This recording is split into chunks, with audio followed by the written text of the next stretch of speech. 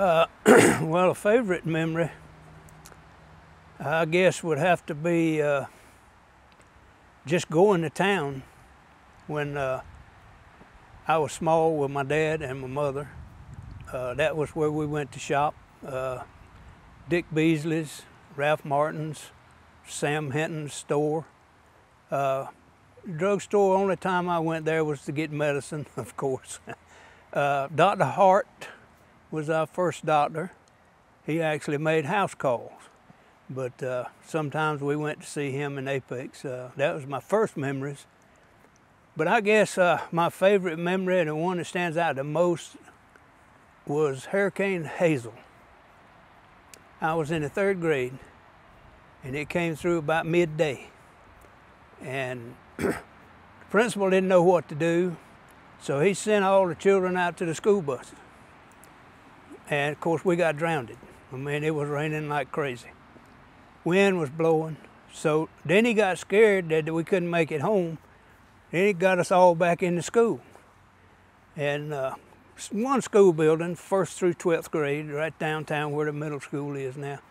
But uh, we all made it back into our classrooms and we huddled up in a corner. And I remember looking out the window and seeing brick flying by the window coming off the chimney. And uh, of course, it didn't last but hour and a half or so, two hours, and then it was pretty much over. The high came right over Raleigh. And uh, we went out and got on the school buses, and it was, of course, after school hours.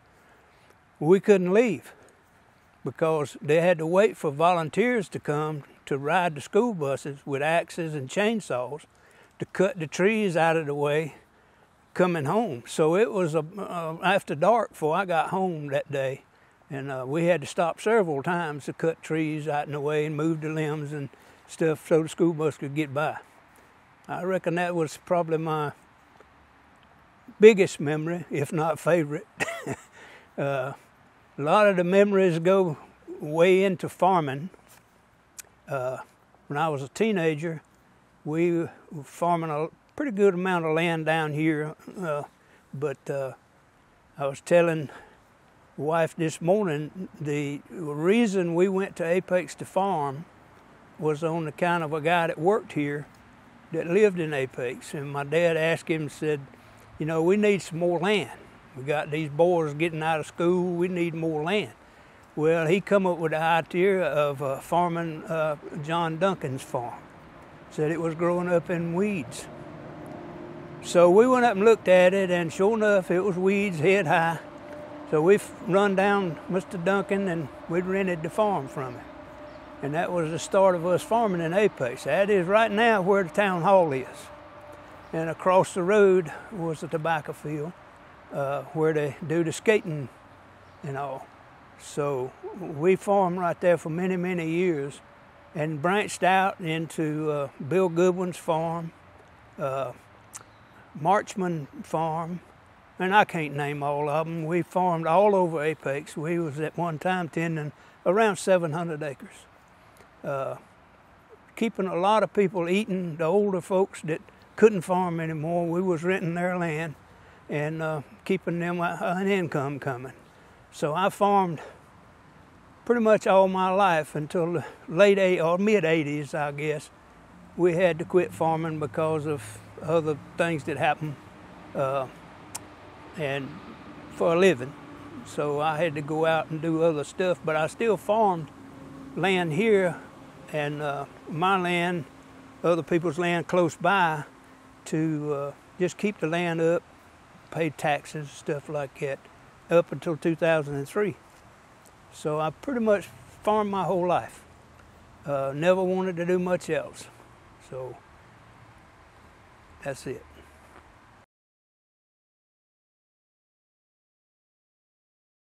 Yeah, well, I think the most important memory that I have in Apex is uh, meeting my wife. Uh, farming brought that about uh, right here in Fairview. Uh, we was uh, farming tobacco, and uh, she grew up right across the creek, about two and a half miles. And her dad brought her and her sister over and told my dad, William Powell, to, if he could get any work out of them, to pay them a little bit, and if he couldn't, don't pay them. So, of course, he paid them. Didn't take long for us to go to noticing one another, I guess you could say. And uh, we married in 1970 and been married now 53 years. And I think that's the most important memory I have.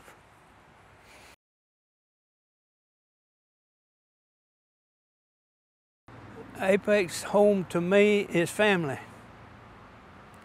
Uh, most of all of my family lived here.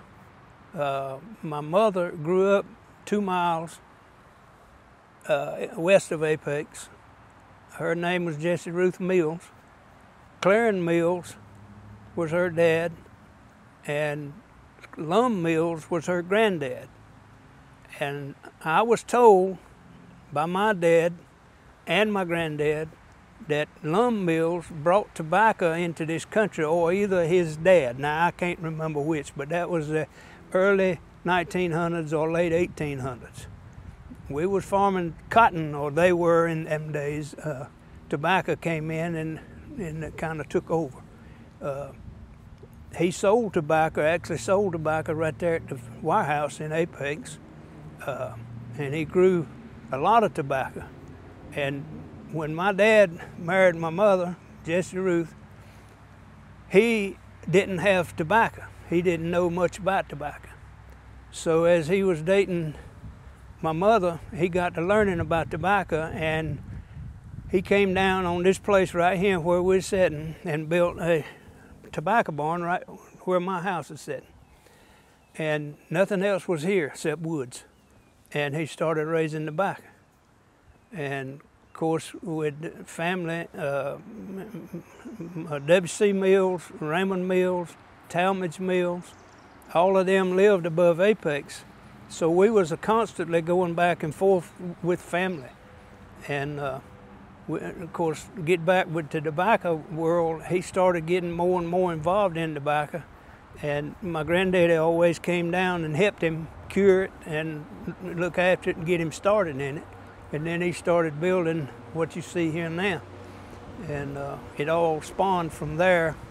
And that's what my important memory is, uh, uh, is being family uh, around Apex and we're kin to a lot of people here. and we actually never left here. We stayed at home. My brothers, uh, pretty much all of my families never moved anywhere else. They always stayed right here and called Apex home.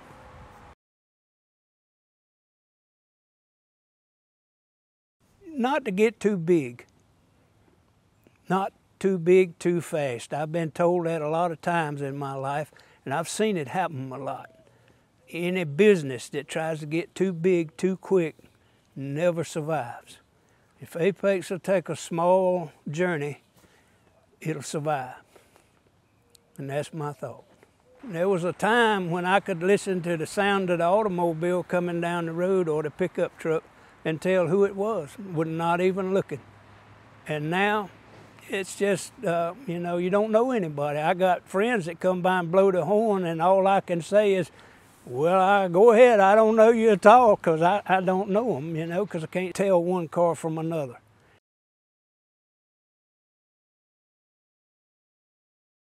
Uh, I've said this before. We we didn't go anywhere. We uh, we had a ten mile radius of moving around uh, I was 16 years old before I ever went to Clayton or Garner. Uh, we played them in football, played Garner, uh, but I didn't know where it was. Uh, and I was 16, I got my license, and I drove to Garner to see where it was at. and uh, but we just didn't go anywhere. We was a tight knit community. Uh, my great grandmother was uh, give the name Fairview Community.